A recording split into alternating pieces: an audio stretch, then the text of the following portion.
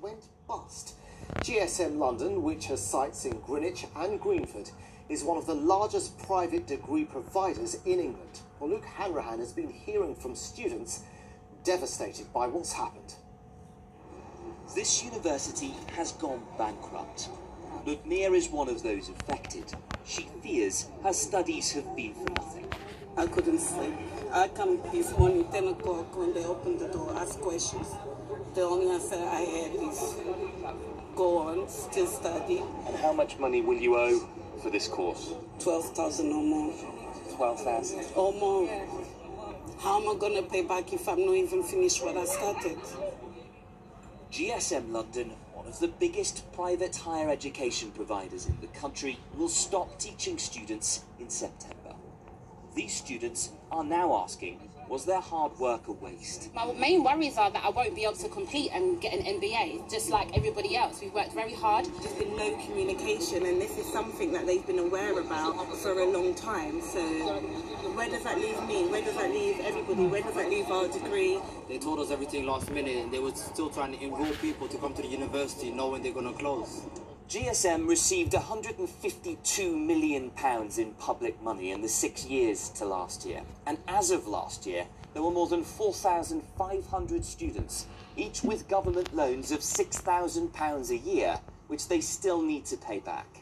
In a statement, GSM said our students will be supported as far as possible. Discussions are already underway with other higher education providers to identify options and advice and guidance will be provided to students as soon as details are finalised.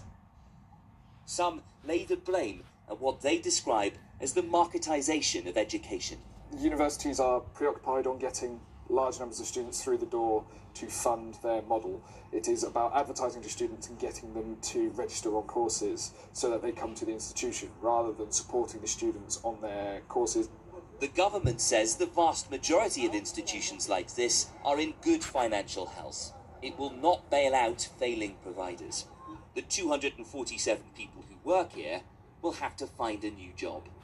The level of the standard of lectures is beyond question. We've had some excellent tutors here, um, and it's a real shame that their jobs now are on the line also. Once a for profit college owned by a private equity company now a bankrupt business school which has left those who were paying to learn to potentially pay the price. And Luke, uh, you stayed uh, in Greenwich for us this evening, and tell me, is there any help or uh, support being offered to students from the Department of Education or anyone else for that matter? Well, the truth is there is no law to protect these students, and many have been turning up today to effectively discover that they're out on a limb. For most, it means trying to secure a transfer to another college. But with the September deadline now fast approaching, time is running out, and many are unlikely to be successful. The independent regulator uh, has said that it's working with the government to ensure students are informed about available options and that their academic achievements to date don't go down the drain. But it's a desperate situation and a very depressing day, to say the least, for many of the students here at GSM London. Yeah, certainly is. Okay, Luke Hanrahan in Greenwich, uh, thanks very much for that.